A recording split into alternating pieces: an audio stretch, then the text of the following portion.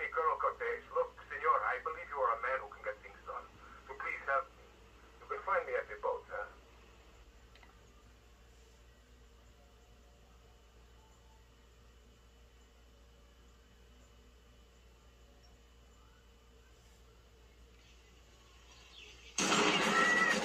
Not so pleased with yourselves now, huh? Watch where you're waving that thing. no more pigeon shit on Micah, eh, Tommy? Guess not. You're damn right. Now listen, you know who owns the fastest boat on the East Coast? Not offhand, no. Me! And I want it to stay that way.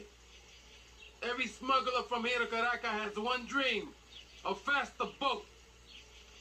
Rumor has it the boatyard had just completed such a vessel for some Costa Rican dickhead. And Tommy, I want that boat. Ah, I thought I got you! Where'd you come from? Bitch!